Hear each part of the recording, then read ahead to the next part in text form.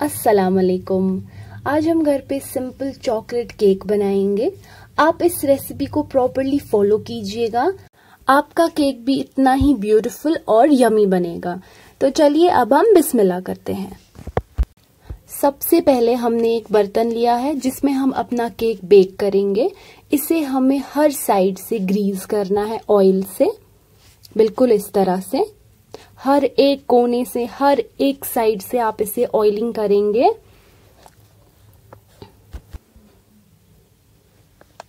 और इसके बाद हम मैदा लेंगे और हर तरफ़ से छिड़क देंगे।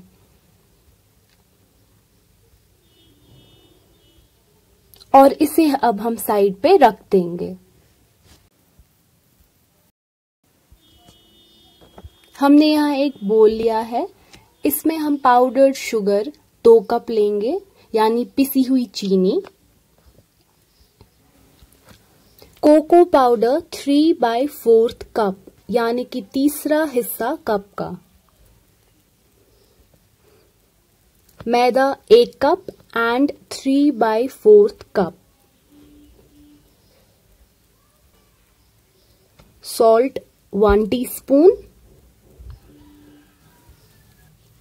baking powder 1 and 1 by 2 teaspoon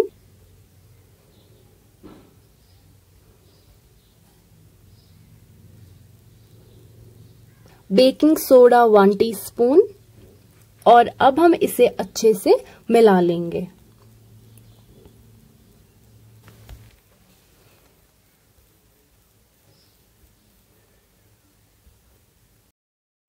हमने इसे अच्छे से मिक्स कर लिया है और अब हम इसमें ऐड करेंगे two eggs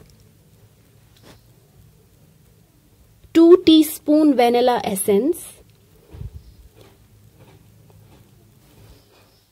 one cup milk vegetable oil one by two cup और हम इसे अच्छे से मिक्स कर देंगे।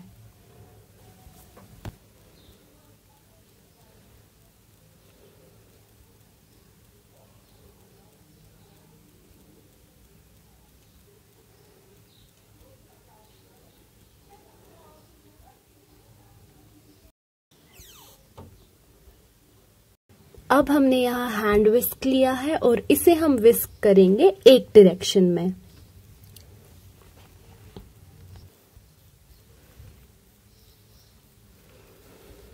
हमने इसे अच्छे से विस्क कर लिया है। आप इसकी कंसिस्टेंसी देख सकते हैं। हमने यहाँ बॉइलिंग वाटर लिया है आधा कप इसमें हमने टू टीस्पून कॉफ़ी ऐड की है। हम इसे बिल्कुल अच्छे से मिक्स कर देंगे। याद रखिए, आपको बॉइलिंग वाटर लेना है। और इसको अब हम इस मिक्सचर में ऐड कर देंगे। और अब हम स्टार्ट करेंगे विस्क करना।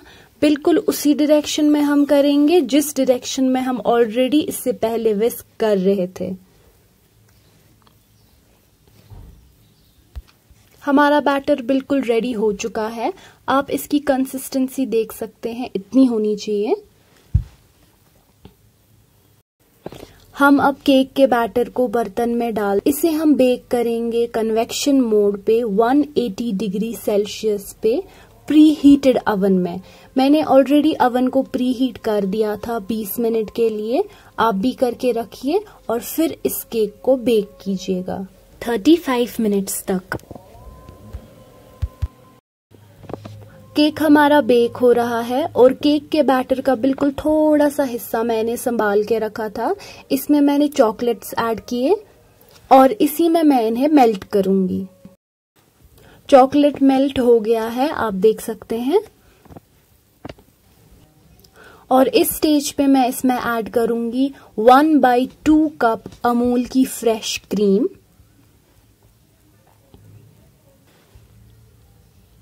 इसे हम अच्छे से मिक्स कर लेंगे।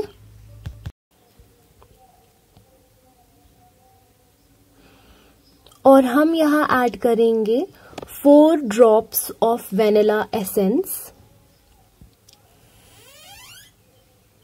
और फिर से अच्छे से मिक्स करेंगे इसे। हमने इसे अच्छे से मिक्स कर लिया है और इस बैटर को हम अब रेफ्रिजरेट करेंगे एक घंटे के लिए। 35 मिनट्स हो चुके हैं।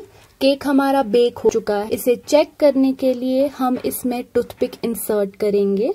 ये देखिए, ये ड्राई बाहर आ रही है। आप इस केक को तब तक बेक करेंगे जब तक आपकी भी टूथपिक ड्राई बाहर ना आ जाए। हमारा केक अच्छे से हो चुका है बेक और अब हम इसे ठंडा होने के लिए रख देंगे। हमारा केक बिल्कुल ठंडा हो चुका है। अब हम इसे बाहर निकालेंगे।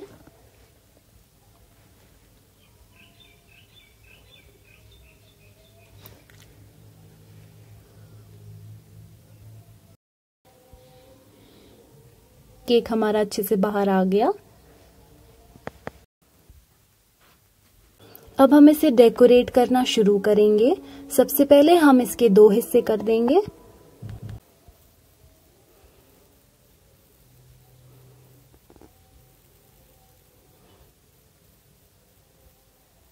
अब हम यहाँ मिल्क लेंगे और हर तरफ़ से इसमें ऐड करेंगे।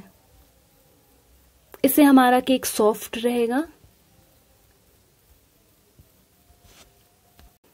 अब इस स्टेज पे जो मिक्सचर हमने रेफ्रिजरेट होने के लिए रख दिया था, वो निकालेंगे। उसे हल्का सा विस्क करेंगे।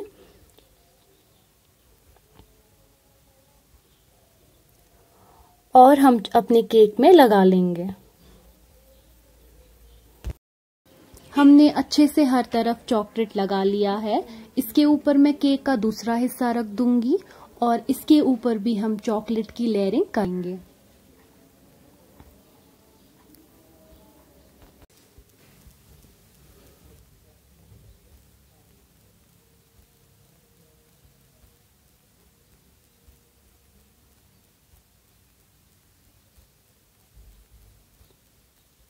हम इसे साइड से भी लगा लेंगे। ये देखिए, हमने हर तरफ़ से अच्छे से चॉकलेट की लेयरिंग कर दी है और अब हम इसे रेफ्रिजरेट करेंगे पंद्रह मिनट के लिए। पंद्रह मिनट के बाद हमने यहाँ थोड़े स्प्रिंकल्स इसके ऊपर ऐड किए हैं।